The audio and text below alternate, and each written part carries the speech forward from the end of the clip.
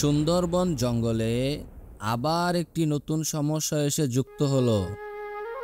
সেখানে থাকা পাজি শিয়াল সকল পশু পাখিদের বাচ্চাদেরকে ধরে ধরে খেয়ে ফেলতো। তাইরে নাই রে নাই ছানা পোনা খাই তাইরে নাই রে নাই ছানা পোনা খাই। সুন্দরবনে থাকা গাধা তার বাচ্চাদেরকে পাজি শিয়ালের হাত থেকে বাঁচার জন্য পরামর্শ দিচ্ছিল। শোনো বাবারা, বনের ভেতরে তোমরা সাবধানে থাকবে, কারণ পাজিশিয়াল বনের ভেতরে ঘোরাঘুরি করে। তোমাদেরকে পাজিশিয়াল পেলে খেয়ে ফেলবে।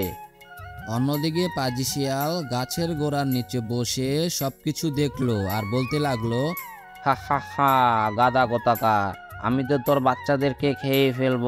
আমি শুধু বসে আছি, তুই কখন যাবি সেটা দেখার জন্য। তুই গেলেই আমি তোর বাচ্চাদেরকে খেয়ে ফেলব।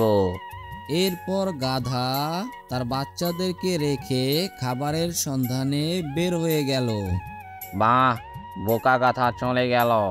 এখন আমি তার বাচ্চাদেরকে খেয়ে আমি আমার পেট ভরাবো। এরপর পাজি শিয়াল গাধার বাচ্চাগুলোকে খেয়ে ফেলল।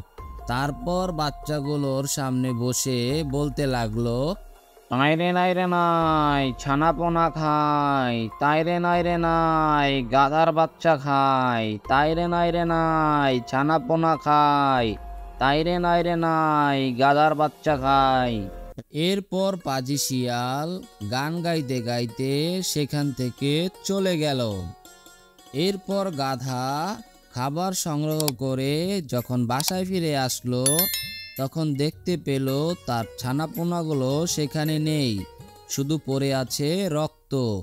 তখন তার বুঝতে বাকি রইল না যে এইগুলো সব পাজি শিয়ালের কাজ। তাই সে কান্না করতে লাগল আর তাকে অভিশাপ দিতে লাগল। তারপর গাধা কোনো উপায় না পেয়ে গর্জিলার কাছে বিচার দিতে গেল। আপনি আমাদেরকে বাঁচান।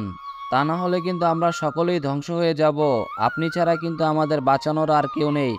কি হয়েছে? আমাকে বলো। বনের পাজি শিয়াল আমার বাচ্চাগুলোকে খেয়ে ফেলেছে।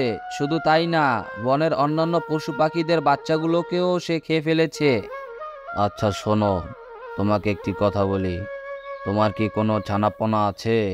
তিনটি বাচ্চা ছিল, তার মধ্যে দুটি বাচ্চা শিয়াল খেয়ে ফেলেছে, একটি বাচ্চা আছে।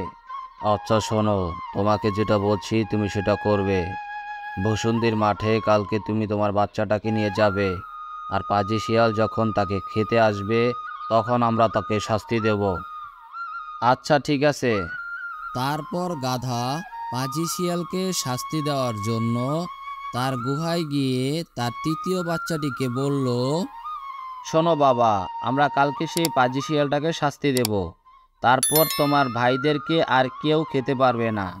তারপর পাজি শিয়াল গান গাইতে গাইতে সেই মাঠের দিকে চলে আসলো। তাই তাই তাই ছানা পোনা খাই তাই তাই তাই গাধার বাচ্চা পাই তাই তাই তাই পেট ভরে খাই। তোর বাবার মতো একটিও বোকা আমি আগে দেখিনি। তোর বাবা তোকে এখানে ফেলে রেখে চলে গেছে। এখন আমি তো তোকে খেয়ে ফেলব। অন্যদিকে গাধা ও গর্জিলা পাজি শিয়ালকে দেখছিল। পাজি শিয়াল যখন গাধার বাচ্চাকে খেতে যাবে, তখনই গর্জিলা গর্জন করে উঠল। গর্জনের শব্দ শুনে পাজিশিয়াল কি করবে সে ভেবে পাচ্ছিল না। ঠিক তখনই গর্জিলা তার সামনে চলে আসলো। আমাকে মাফ করে দিন আমি আর কখনো এরকম করব না প্লিজ আমাকে মাফ করে দিন। যখন পাজিশিয়াল দেখল কোনো কিছুতেই কাজ হচ্ছে না তখন সে একটি কৌশল অবলম্বন করল। বিশ্বাস করেন আমি আর কখনো এই কাজ করব না আমাকে ছেড়ে দিন আমাকে ছেড়ে দিন বিশ্বাস করেন আমি আর কখনো এই কাজ করব না। কি ব্যাপার? তাদের মন তো গলছে না। যাই এখান থেকে উঠে পালাই। যখনই পাজি শিয়াল কান্না করা রেখে উঠে পালাতে চাইল তখনই গর্জিলা ছুরির আঘাতে তার কান কেটে দিল। ওরে বাবা রে মরে গেলাম রে। ওরে বাবা রে কান কেটে দিল রে। ওরে বাবা রে মরে গেলাম রে। ওরে বাবা রে কান কেটে দিল রে। বন্ধুরা, আমাদের ভিডিওটি ভালো লাগলে অবশ্যই চ্যানেলটি সাবস্ক্রাইব করে আমাদের পাশে থাকার জন্য অনুরোধ করছি।